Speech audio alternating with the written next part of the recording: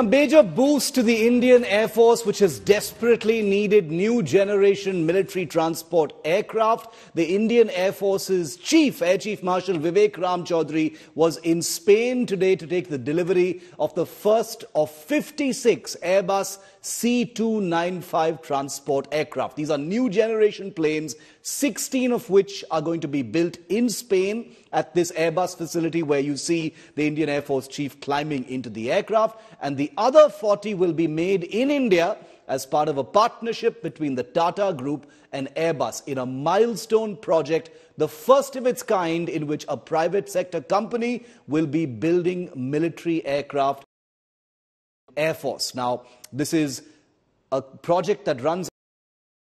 The images are amazing. The Air Force chief is justifiably proud to take delivery of something that is. But here in India today, we're also proud because I was who was in Spain right at this same facility to bring you this report about the very same aircraft that's been handed over to the Air Force today.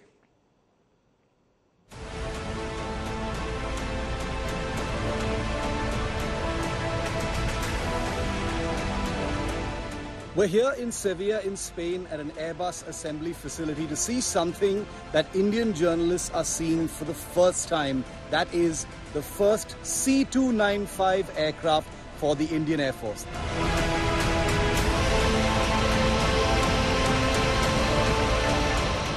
This aircraft is the first one that's been built by Airbus, a part of 16 such aircraft that are going to be built at this sprawling facility and delivered very soon. This particular aircraft is going to be delivered in just the next few uh, weeks to the Indian Air Force, after which uh, 15 more such aircraft will be built at this precise facility uh, in Sevilla in Spain for delivery to the Indian Air Force.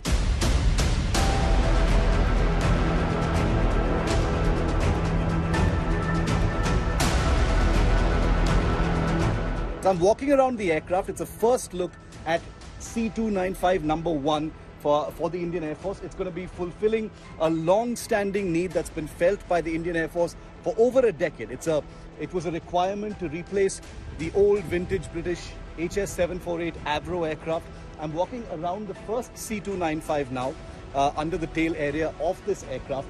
The important thing about the C295, remember, uh, isn't the fact that the first 16 are going to be built uh, here in Spain. And uh, here in India today, you know, we've gotten first access to the aircraft uh, also because something very important is taking place back in India. 16 of these aircraft are going to be built here in Spain, but the other 40, as many of you will know if you've been watching India Today and my show, is that the other 40 are going to be built in Vadodara at a Tata facility.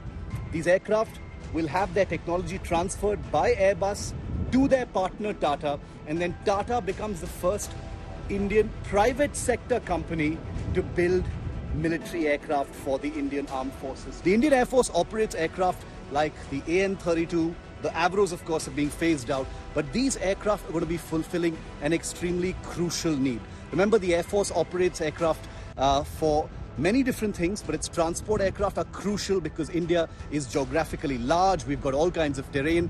This particular aircraft is capable of landing on unprepared surfaces. It's designed for operations of high altitude areas, uh, which is a particularly difficult thing, uh, you know, in, in, in aviation because of the, uh, the thin atmosphere and the various other challenges. And remember, India has important, crucial air bases at high altitude, whether it is Leh, whether it is Thoise, the world's highest military airfield which is Daulat Beg Oldi, uh, is also in uh, is in is also in India, and the aircraft of this kind has been proven to be able to operate from such forbidding locations. Now, 56 aircraft of this kind uh, will be built for the Indian Air Force. That number might go up because the Indian Air Force, apart from uh, replacing its old Avros, also has to replace over 100 AN-32 uh, aircraft. And AN-32s, remember, are of Ukrainian origin great aircraft, they're workhorses uh, of the Indian Air Force, but they are also aging and will need to be replaced by new generation transport aircraft of the kind that the C295 is. Whether or not that happens remains to be seen, but with an Indian factory churning out these aircraft, uh, between now and 2031, uh, it stands to reason that uh, uh, you know th- this very same aircraft should actually replace the AN-32. Uh, apart from the Indian Air Force's own requirement, uh, this is a very versatile aircraft in the sense it's not just a transport aircraft. Look at it as uh, a bit of a Swiss Army knife. Uh, it depends on what you put into it. You can sling on a maritime radar, it becomes a maritime patrol aircraft. Uh, uh, very much like what the Indian Navy and the Indian Coast Guard are looking at. About 15 aircraft in total is what they're looking at. Uh, it can uh, it can be used for land surveillance if you put on the right kind of sensor. The border security force is looking for that kind of capability. Uh, you know, if you add passenger seats, you can convert it into a short haul regional airliner. India needs many hundreds of those kind of thing. Uh, if you uh, you know add anti-submarine sensors and a torpedo capability, it can become an anti-submarine aircraft. If you put a radar on its back, it can become an airborne early warning platform. Uh, so what I mean is, uh, it's very modular. It depends on what you want to do with the aircraft, and it can be used for all these different kinds of purposes. So if you have a production line for the C295 in India, uh, it becomes something very useful for India's different and very disparate needs across different terrains. So it's historic in all kinds of ways because the C295 uh, not only fulfills all these needs but gives India an aircraft manufacturing capability in the private sector which has never been there.